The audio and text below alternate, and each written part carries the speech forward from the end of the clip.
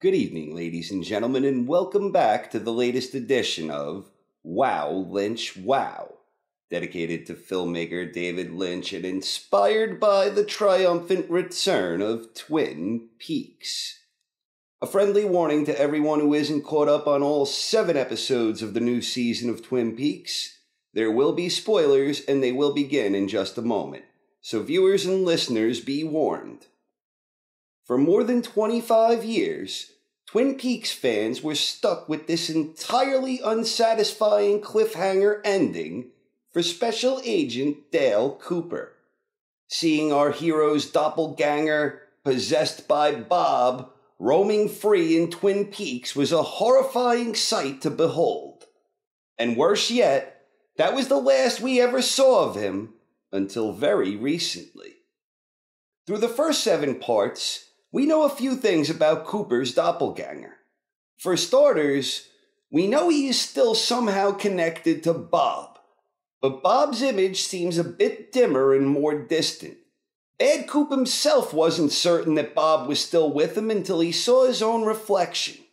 This suggests some type of symbiotic relationship of sorts between these two entities where they appear more loosely connected than was originally the case.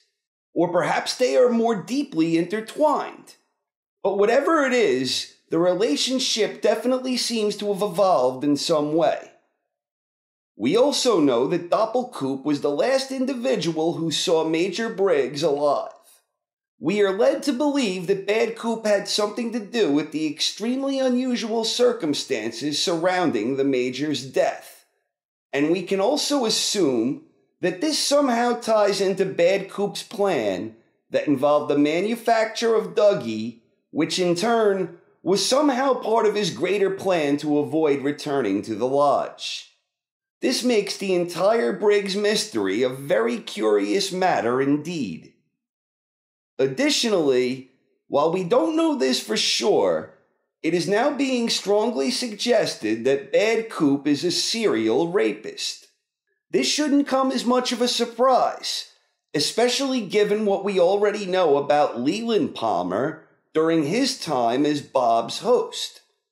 On this front, we are clearly being led to believe that Bad Coop did something horrible to Diane, and it's strongly implied that he sexually assaulted and violated her. And then, based on Doc Hayward's account to Sheriff Frank Truman, we are also led to believe that Cooper may have possibly done something heinous to our dearest Audrey while she was in a coma at intensive care. If Bad Coop did indeed plant his demon seed in our beloved Audrey's garden, then there is a good chance that Audrey would never suspect Cooper as the father. In fact, if we take what she said to John Justice Wheeler before they entered the plane at face value, then Audrey lost her virginity on that plane with Wheeler. If this is true, and she subsequently had a baby, then surely she would naturally suspect that Wheeler is the child's father. It will ultimately be interesting to learn how Audrey fits into everything. I think the pieces are now in place that we should see her fairly soon. It's been hinted that when Jade mailed the keys, they would soon reach Ben, and in turn, word would ultimately reach Audrey. There have been some really interesting fan theories going around suggesting that Audrey is actually the woman in the wheelchair named Linda, the woman who was mentioned by Carl's buddy on the ride into town. The idea behind it being that Audrey is in hiding and that this would fit in nicely with what the Giants said about Linda and Richard, two birds with one stone.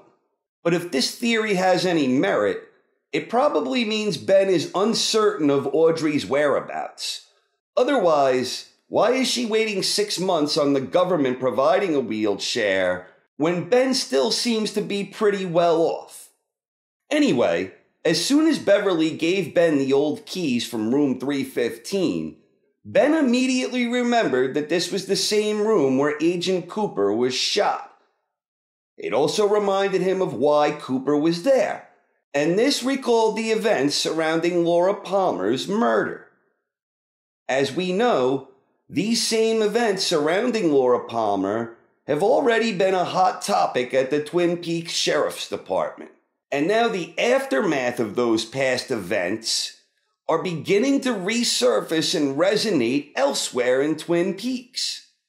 In fact, it seems like a variety of unknown powerful forces are all once again beginning to converge on the town of Twin Peaks. It appeared to me that there were several instances of this in Part 7. First was Jerry Horne. Now, I'm under the impression that Jerry is no stranger to being high as a kite and chilling out in the woods. So I have no doubt that whatever happened to Jerry, that he was in a very well baked state of mind.